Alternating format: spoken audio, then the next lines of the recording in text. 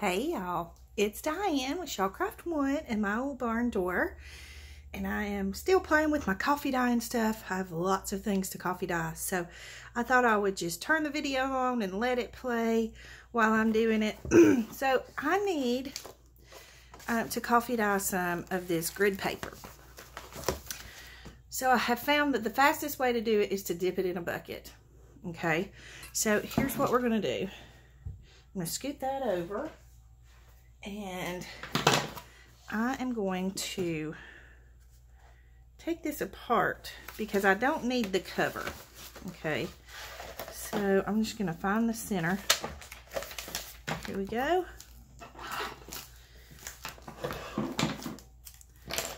Uh-oh. Oh no, I lost my blade.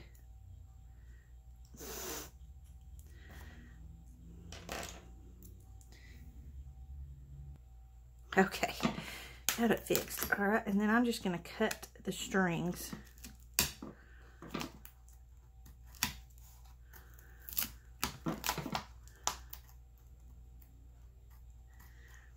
So cut your strings and get your notebook taken apart and I'll be right back.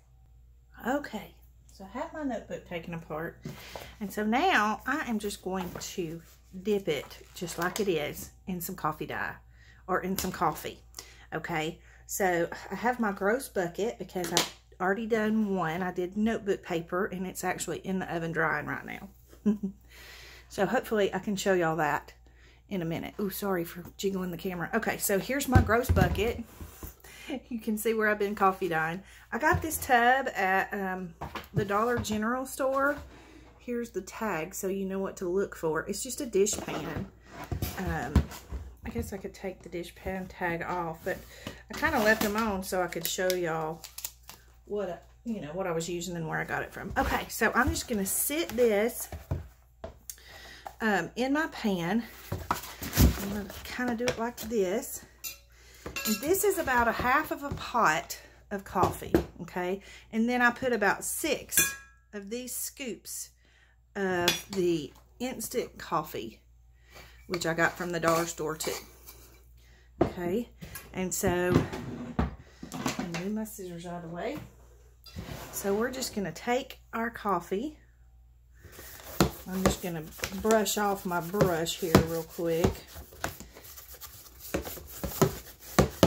Okay, this is a cheap, inexpensive, probably a dollar store notebook. So the grid lines will you know, they'll kind of fade. But I like that look, so I don't mind it. Um, so I'm just going to take my coffee and pour some into my tub. Okay. And then I'm going to take my brush. Actually, I'm going to just kind of flip it around some. Now, you, if you want to wear gloves, go right ahead. I just don't like, I don't work well with gloves on, so so I'm just going to separate some of the pages and kind of do it like this so that I can get everything coffee dyed. And if, you know, if your notebook comes apart, that's okay too. Just have yourself a, a little piece of parchment paper sitting beside you that you can sit it on. So I'm going to fold this out and just lay that on that parchment paper there. Okay, while I'm still flipping my notebook. Okay, see this one's come apart. So we'll go ahead and fold it out. Maybe. There we go. See how the grid lines kind of fade? But I think that looks cool like that. Okay and you just want to kind of keep dipping it to get all of your white spaces. Um, but I actually like some variation. Um, like see how it does that? But if you if you soak it good enough in the coffee, it's going to soak through the pages.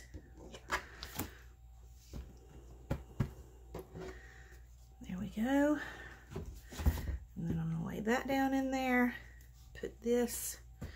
Let's separate this and see if uh, See, we've got white spots in the middle, which sometimes I like to leave the white spots in the middle. And sometimes I will take my brush and just brush a little coffee on because that gives you a good variation in your dyeing. Okay.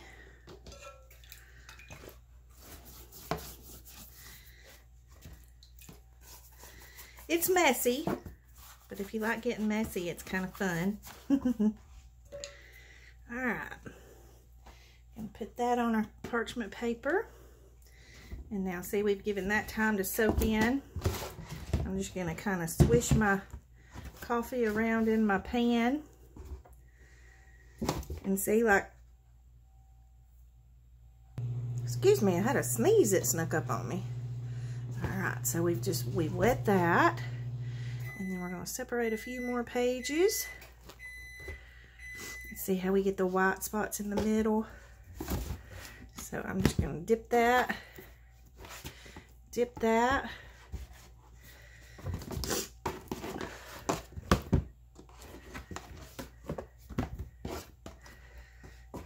Okay. I'm just going to lay that on my parchment. We're going to separate a few more.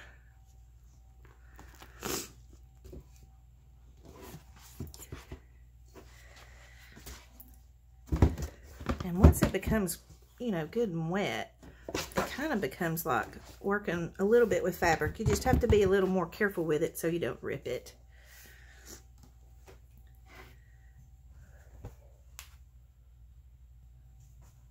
Okay.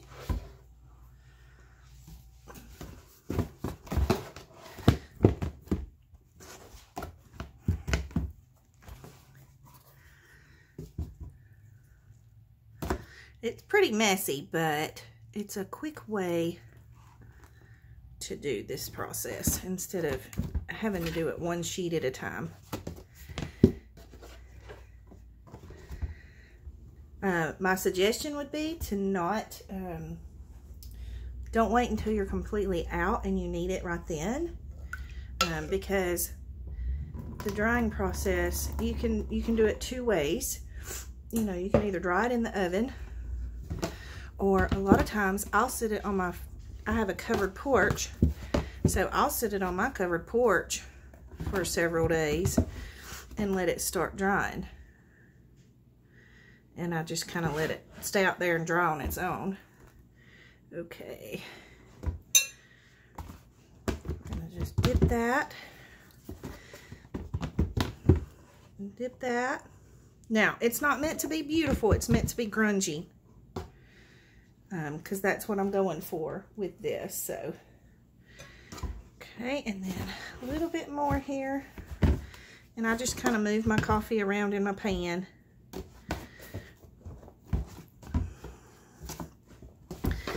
Uh, make sure you use a pan that you don't care if it's going to get stained because as you can see, it's going to stain.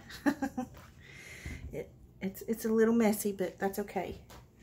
All right, so now I have, you know, in just a few minutes, I have that whole notebook done. All right, so let me show you. I probably shouldn't sit that on the camera stand, just like that, okay? So now I'm gonna just let this sit on my porch and let it dry. Or I might throw it in the oven while I'm, you know, drying my coffee dye paper. Look, y'all, I'm gonna have stained hands, but that's okay. So, hang on for me. Let me move this, and we'll move on. Okay, so the next thing I wanna do is I want to do a whole book.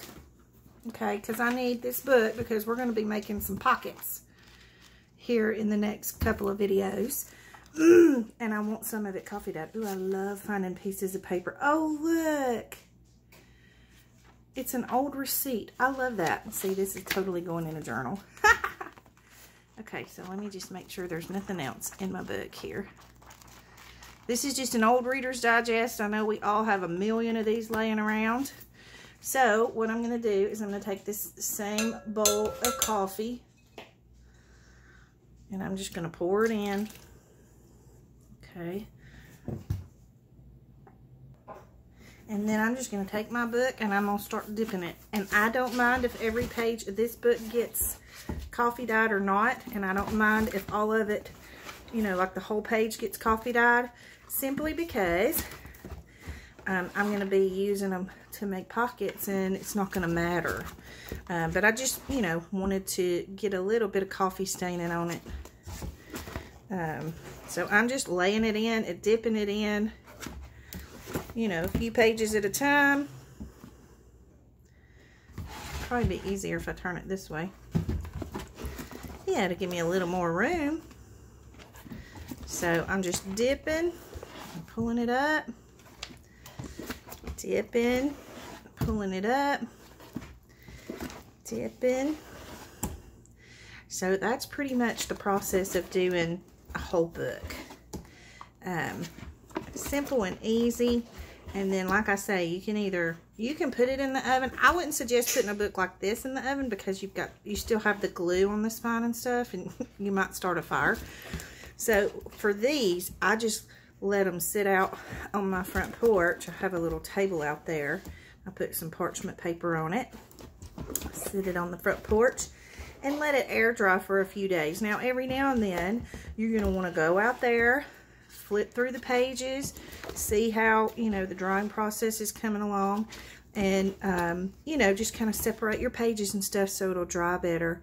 And it takes, you know, it'll take it several days to dry, and eventually, you know, you could take your book apart and put you a few pieces in the oven if you, you know, if you're in a hurry for some pages or whatever. Um, you could go ahead and dry them that way. So it's kind of, it's basically up to you, however you want to do it. Um, well, I like that map page. Let's do that one. so, and these are good for collage. They're good for pockets, pretty tags, pretty much anything you want to do with them, they're good for. So, so y'all have to excuse me probably in the next few videos. I will probably have hands that look dirty because they're probably going to be coffee stained. But that's okay. And again, like I say, I don't have to have every single page coffee dyed because some of the pages I'll just use regular. But this is a quick and easy way uh, to get a whole book dyed because if y'all are like me, you've got 40,000 of these Reader's Digest books laying around and you need to do something with them. So if you go ahead and do this and let it be dry and then it'll be ready for you when you get ready to do a project with it. You know, make tags or pockets or um, whatever. So anyways, that is how I coffee dye whole books at one time. If you have any comments or questions, you can leave them in the comment box below. Don't forget to like and subscribe for me if you will. And I hope you have a great day. And I'll come back and we'll do some, I'm going to do some, um, some pages that have markings on them, I think, in the next video. So thanks, y'all. Big hugs.